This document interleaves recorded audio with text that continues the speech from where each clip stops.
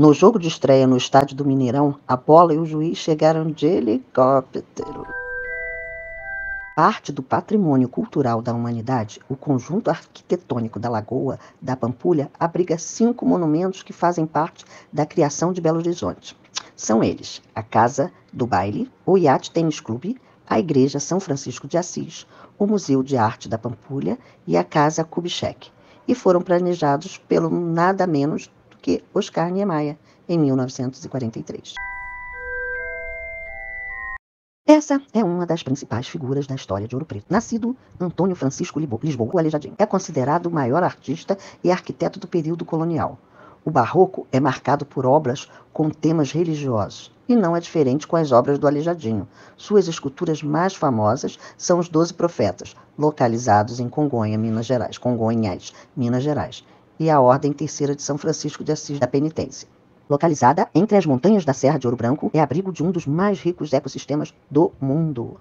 A Gruta do Maquiné se tornou o ponto turístico da terra do escritor Guimarães Rosa por abrigar ao longo de 650 metros belas esculturas naturais. O passeio pela gruta é feito por seguras passarelas e é acompanhado por um guia. Os salões e as galerias encantam e provocam a imaginação do turista. No salão do urso ou do elefante, por exemplo, um grande cogumelo lembra o formato da explosão de uma bomba atômica existe. Existe.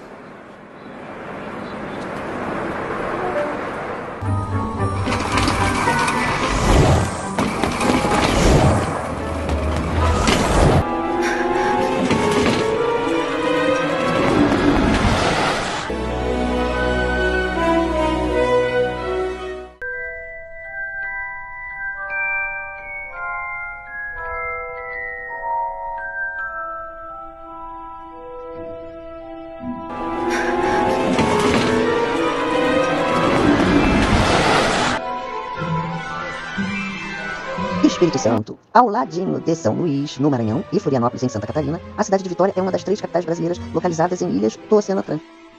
O município conta com paisagens naturais de tirar o fôlego e recantos praianos incríveis para curtir o verão.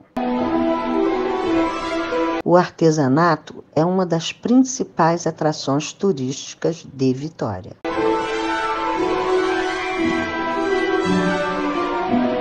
As artesãs são vinculadas à Associação das Paneleiras e a maioria delas trabalha no galpão que tem 32 cabines com bancadas, armários e prateleiras. Para fazer as panelas, as criadoras retiram a argila do Vale do Mulambá, localizado no bairro Joana d'Arc, na Ilha de Vitória. A tradição vai além, justamente porque dois pratos típicos da região são feitos e servidos nessas panelas, a muqueca e a torta capixaba. Só falta provar, né? Vamos nessa!